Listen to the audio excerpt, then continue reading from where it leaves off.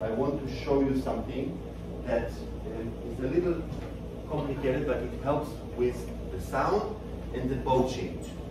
And what it is, it's what we call the figure eight. Figure eight. So number eight, number eight, but you put it down. So the way it looks like is on a down bow, you start the down bow towards you, and then you go out. Yeah? So in, out, now in, out.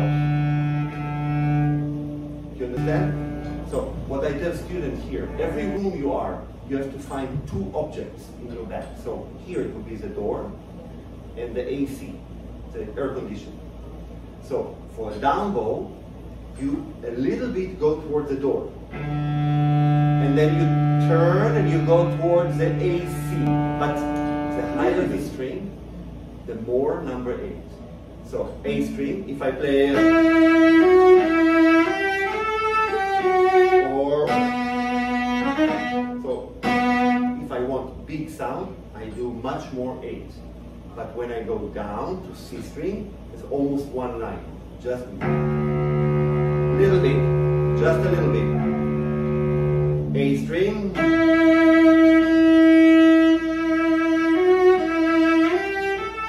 In, out.